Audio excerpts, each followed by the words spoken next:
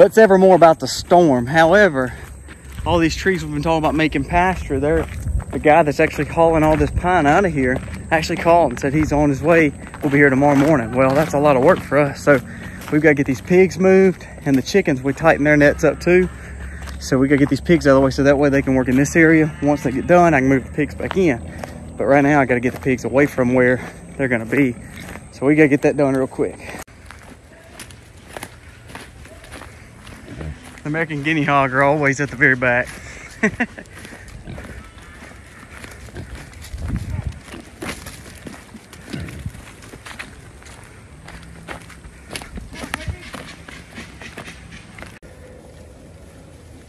Well, that went a lot easier than expected. Eh? Aiden let them perfect. We got these tighter in these two nets. Now, usually we double both of these sides. They get more than double and then they get more than double. But for right now, all these trees here are gonna get cleared out. So what we're gonna do is tell them to work all this side first. And once they clear that out, what we'll do is just turn around and move all of them back because they can still cut all this without any issues too. Because we have a ton of wood that just needs to be cut because it's actually getting to the point of, you know, these pines are huge and big enough. And then we got some junk gums and stuff that's not gonna do us any good. We'll cut them and we're gonna leave some of these nicer oaks to stand and that'll be shade trees for the cows one day. So if it's a rain, Aiden's getting the charger moved over there. And then I'm gonna go ahead and get the water and the fencing moved. And that way this will be out of the way for them to cut here first.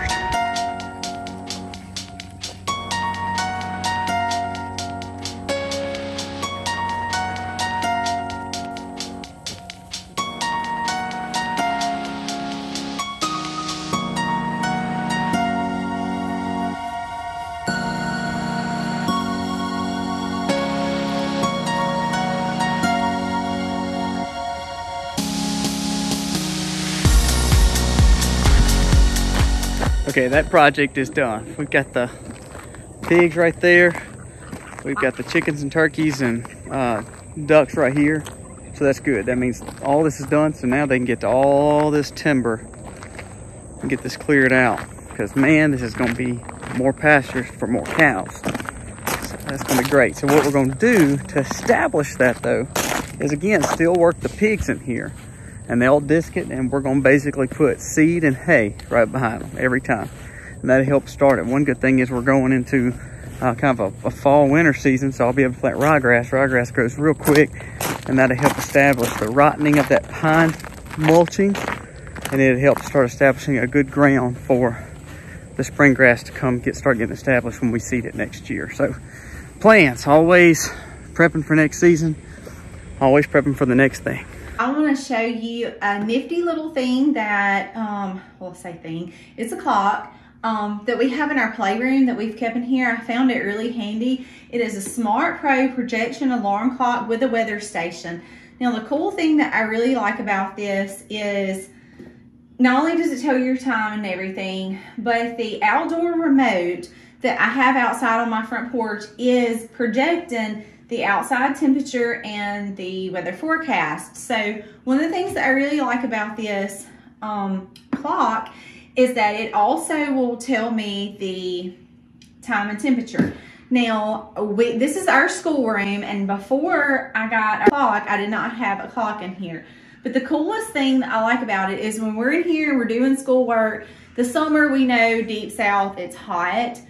But when fall comes and we get done with our school and we're, we're ready to go out, instead of me trying to find my phone, get to the weather out, see what the weather is, all I have to do is glance, glance over and see what the temperature is.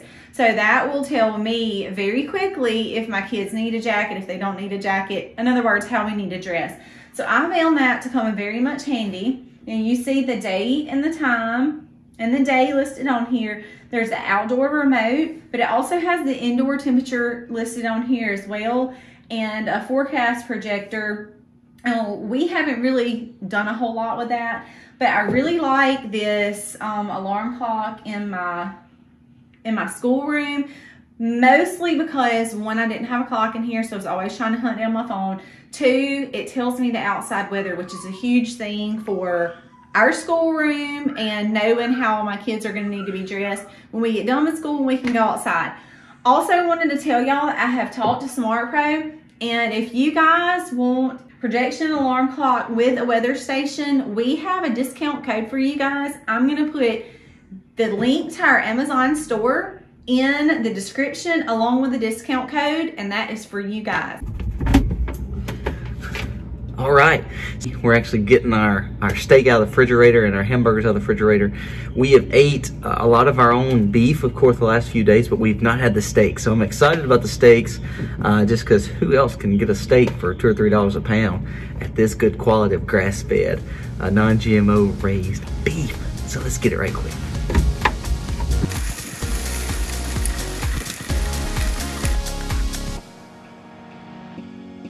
Happy homesteading, y'all.